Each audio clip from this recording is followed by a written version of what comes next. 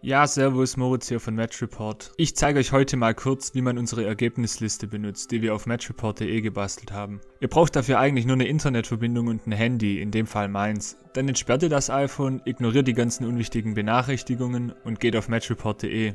Hoffentlich ist eure Internetverbindung schnell genug. Hashtag Neuland. Ja, und das ist eigentlich schon die ganze Magie. Hier sind so ziemlich alle Teams aus der Region sämtlicher Sportarten aufgeführt. Oben gibt es eine Suchfunktion, wo ihr nach Parameter suchen könnt. Vereinsname, Sportart, Geschlecht und sowas.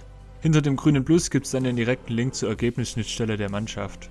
Ziemlich praktisch eigentlich, wenn man bei einer Freundin oder dem Freund das Spiel anschauen will und keinen Plan hat, wo man die Ansetzungen findet. Oder man will mal eben kurz die Ergebnisse checken. Ganz unten auf der Seite haben wir noch ein Formular eingerichtet, in dem ihr uns fehlende Mannschaften schicken könnt. Einfach kurz eintragen, absenden und wir kümmern uns drum. Ja, das ist eigentlich die Ergebnisliste bei matchreport.de.